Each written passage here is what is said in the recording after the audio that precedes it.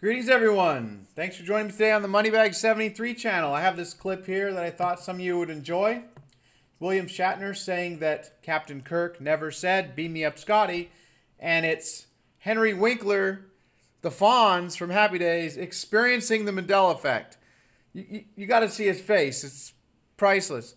And then he's saying, I mean, he just reacts to how he can't believe that, that this line was never said. So I thought this was really cool here show you a tiny bit of, of um, two different parts, and then I'll put a link down below. You can check it out. But definitely a must-see for those of us experiencing the Mandela effect. Uh, one minute and 37 second clip. Here we go. Captain Kirk never said, beam me up, Scotty. I mean, that's kind of a priceless look right there. Obviously remembers hearing that on the show on Star Trek. So if we jump forward here, you'll have another reaction from him. Scotty, he's never actually said, beam me up, Scotty. Unbelievable. So you can see his reaction there. So this is pretty good. Henry Winkler experiencing the Mandela effect. I mean, this is not going to stop everyone. A lot of people are experiencing the Mandela effect, and this is what we're going to see more of. Things like this, where someone, this gentleman here on the left was saying, hey, do it, beam me up Scotty for us. And he's like, Captain Kirk never said beam me up Scotty.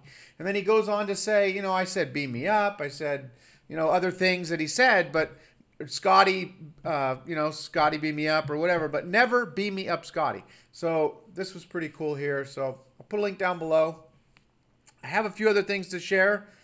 So you can look for a video of Luke, I Am Your Father residue that I don't, I've never seen, and I doubt it, many of you have seen. So I'm going to do that right now after this one. So you can look for that. And then there's something else that came out early this morning that uh, has, you know, received a lot of attention. I'm going to link you up to that. I'm not going to say what it is right now, but I'll link you up to that. So two more videos to come here in the next half hour if I can knock them out. And yeah, so the Mandela effect is not going to stop. It's, you know we're going to continue to see things like this where people are just blown away by learning these. We're all learning and, and experiencing and waking up at different times. You know, I've had people say that such and such was, you know, Lowe's just yesterday didn't have an apostrophe. And I'm like, well, it hasn't had an apostrophe, for me for two years now since I learned about it. Prior to that, you know, it never had an apostrophe for me, but it has the past two years after I learned about it. There's people just now learning that Lowe's has an apostrophe and it looks odd to them. This is how all this stuff works. We're all shifting or realizing or these changes at different times. So we're all experiencing different realities. It's, it's an incredible thing that we're waking up to. And, you know, it's a little unsettling at times. And to have these people say, well, you know, the people. the people with the you got a bad memory and all that. I mean, you show them Mark Hamill saying, Luke, I am your father. You show them, ah, drawing a blank, the voice of Darth Vader saying that Luke, I am your father. Oh, man, that bothers me. What's his name? Um, James Earl Jones. Oh, my gosh. Uh, James Earl Jones saying, Luke, I am your father.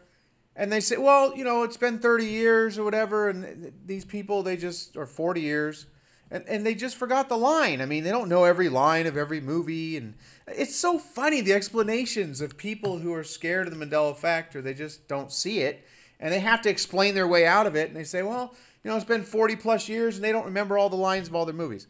Okay, really? Like the most famous line ever in film music, you know, in in movie history, or like Tom Hanks, how he remembers life is like a box of chocolates when he reenacts the scene in on other things that I've seen. He, you know, it, I have it on the channel. He's he remembers life is like a box of chocolates, but they say, oh well, you know, he made a mistake and he just doesn't remember the line and people these actors don't know all every line they've ever had in every movie and whatever the, the explanations are just ridiculous i mean it's so obvious to us that there's something going on it's just it's really comical these people that, that try and say that the, the Mandela effect is not real. It's just so comical at this point. But you know, it, it's a waste of time trying to convince them. They'll wake up in their own due time. There's a Mandela effect for everybody. And I think we're all capable of, of seeing these changes. I really do. And we're living in interesting times, that's for sure. So that's it. I will try and put these other videos together here real quick. Talk to everyone soon.